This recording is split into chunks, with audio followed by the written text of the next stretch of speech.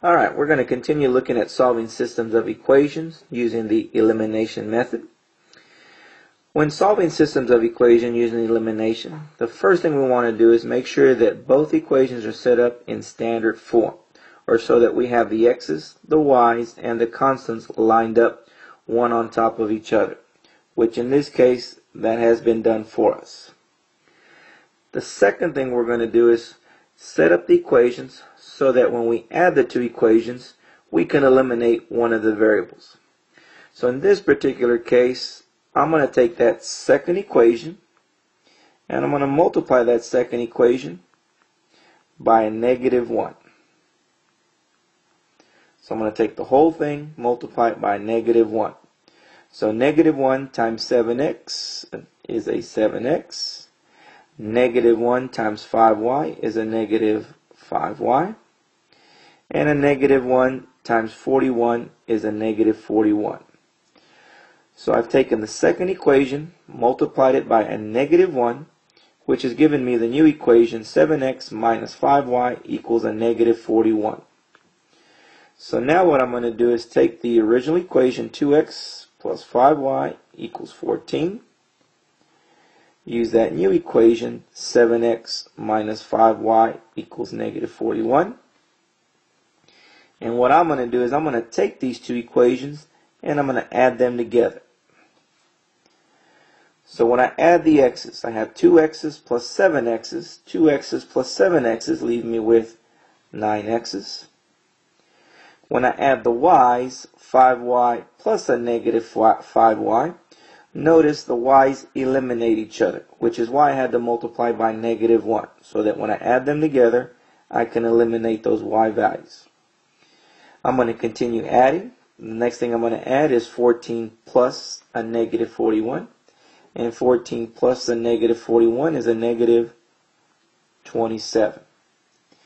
Now notice I have a new equation here. 9x is equal to a negative 27. I'm going to solve that equation for x, which in this case, the only thing I need to do to solve for x is to divide by 9. So when I take a negative 27 divided by 9, I end up with a negative 3. So we found half of our answer. We now know that x is equal to a negative 3. However, I still got to find out what the y value is equal to. So what I'm going to do is I'm going to take this negative 3 and I'm going to substitute it in for one of the x's in the original equation. So I can put it here in for this x or I can take the negative 3 and put it in for that x. The choice is mine. I'm going to go ahead and use that first equation. I'm going to use 2x plus 5y equals 14. So now that I know that x is equal to a negative 3, I'm going to replace x with that negative 3.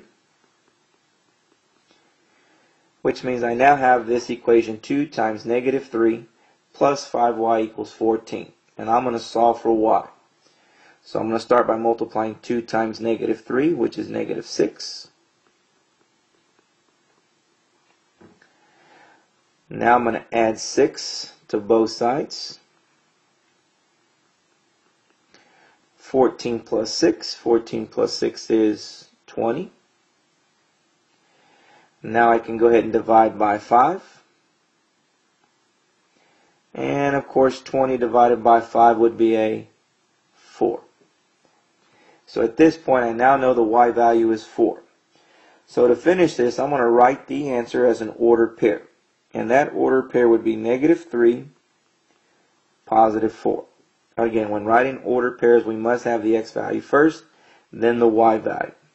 So the solution to this system is the ordered pair negative 3, positive 4. Alright, let's take a look at a second example for solving a system of equation using the elimination method.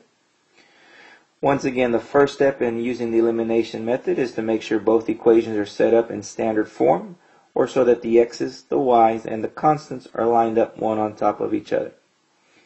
Of course, that step has been done for us. So I'm going to move on to the second step. And the second step we want to make sure that we have opposite numbers in front of the x or opposite numbers in front of the y's. So what I'm going to have to do in this particular case is I'm going to have to take that first equation and I'm going to multiply that first equation by a negative 2. And you'll see why here in a second. Alright, so again, I'm taking that first equation and simply multiplying it by negative 2. So negative 2 times x is a negative 2x. A negative 2 times a negative 2y is a positive 4y. And a negative 2 times 3 equals a negative 6. So at this point, I've taken the first equation, multiplied it by a negative 2, and got the new equation, negative 2x plus 4y equals a negative 6. So what I'm going to do is I'm going to take this new equation that I've just found, use it, and keep the other second equation 2x minus 4y equals 6. And now I'm going to add these two equations together. Now notice here, I'm adding the x's. I have a negative 2x plus 2x. When I add a negative 2x plus 2x, I end up with 0 x's. There are no x's. There's absolutely nothing there. I'm going to do the same thing with the y's. I'm going to add the 4y plus the negative 4y. When I add 4y plus a negative 4y, again I end up with nothing. There are no more y's. Notice when I add the constants, a negative 6 plus 6. A negative 6 plus 6 is also 0. Of course, when I add these two zeros together, that equals 0. Now notice what happened here. Notice the equation has no x or y. There is no variable. Notice that we also have a true statement. And anytime we have a true statement, we have an infinite number of solutions. So in this particular case, this system has an infinite number of solutions. Alright, let's take a look at one last example of solving system of equations using elimination method.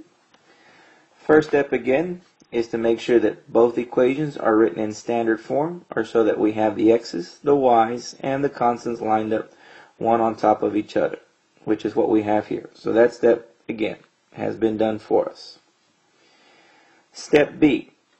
Next step we want to do is make sure that either the numbers in front of the x or the number in the front of the y's are opposites of each other. So in this particular case, I'm going to have to take that first equation and I'm going to multiply that first equation by a 2.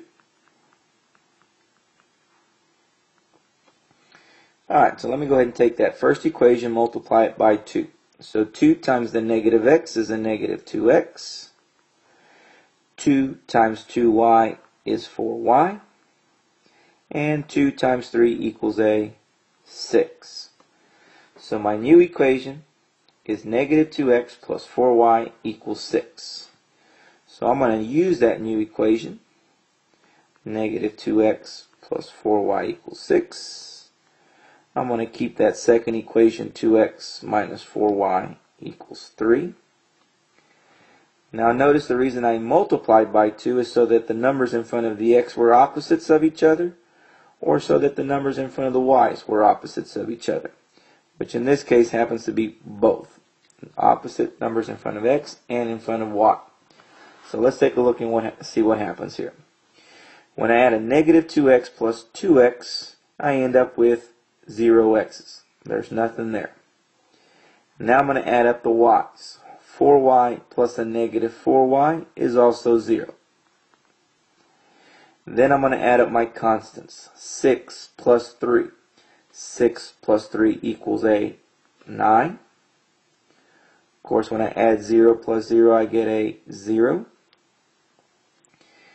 Now you'll notice here this equation has no x or no y, has no variables. You'll also notice that this time we have a false statement. And anytime we have a false statement, the system has no solution. So this particular system has no solutions.